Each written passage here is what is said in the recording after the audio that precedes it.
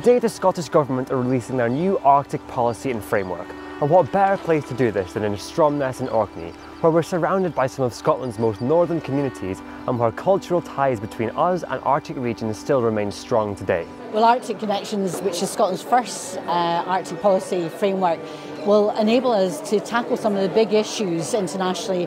Climate change, the climate change emergency will demand big solutions, and I want our young people to be at the heart of that international collaboration, working from community to community.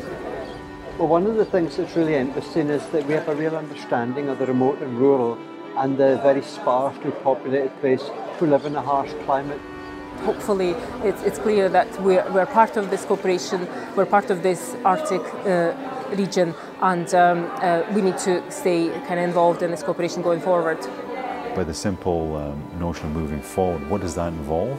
And that ultimately involves youth. So I'm really interested to see opportunities for innovation and bringing young people together um, across all the countries that are engaged and have an interest. I think it's going to be incredibly useful for the rest of the stakeholders around the region to understand where Scotland stands, what it hopes to achieve uh, and what it wishes to do.